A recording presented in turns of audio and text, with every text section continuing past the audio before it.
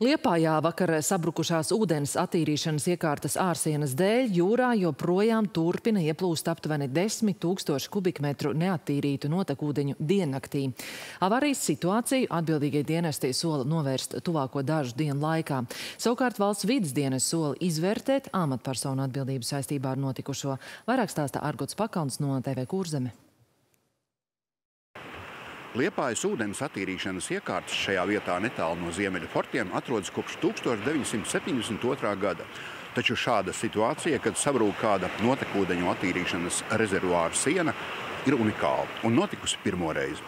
Likteņa ironija. Sabrukušais objekts, pirms attīrīšanas rezervuārs, ir visjaunākā no visām Liepājas ūdens attīrīšanas iekārtu būvēm, kas eksploatācijā nodota vien 2009. gadā. Ekspertiem pagaidām nav versiju, kādēļ tā sabrukusi. Priekšatērīšanas blokam, kas ir čerkantīga tvertne 4 metru augstumā, nogāzās viens, viena sāne. Šajā tvertnē ir divas sekcijas, kuras ir savstarpēji kopā.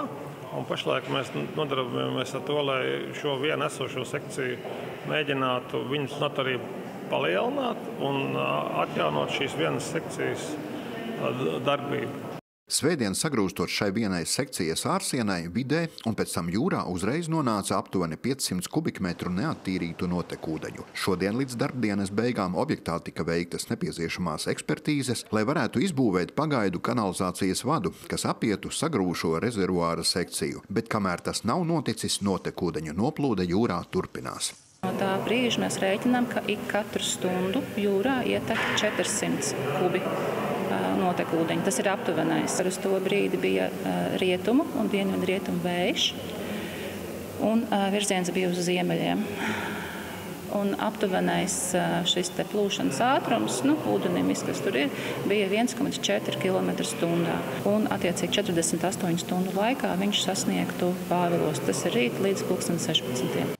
Lai samazinātu attīrīšanas iekārtās nonākušo ūdens daudzumu, atbildīgie dienesti aicina Liepājas, kā arī grobiņas iedzīvotājus tuvāko dienu laikā samazināt ūdens patēriņu. Dzeramā ūdens kvalitāte gan šī avārija neietekmē, taču peldēties jūrā uz ziemeļiem no Liepājas šobrīd nav ieteicams.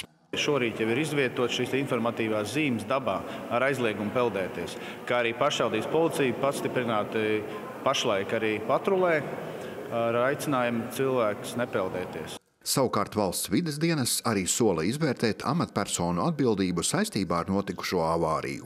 Šeit es tiešām no valsts vidas dienas puses aicinu iesaistīties būvvaldi, lai vērtētu, kas ir noticis, kā tas ir noticis. Valsts vides dienas sadarbībā ar Sijā Liepājas ūdens akreditēto laboratoriju katru dienu veiks ūdens paraugu analīzes, lai sekotu līdzi ūdens kvalitātei. Pirmo analīžu rezultāti būs zināmi šodien vēlu vakarā. Liepājas reģionālajā slimnīcā neviens cilvēks, kura veselības stāvokļi varētu būt ietekmējusi peldēšanās piesārņotajā ūdenī, pagaidām nav vērsies. Argots Pakalns, Justs Kurvins, Jānis Goldbergs, TV Kurzeme.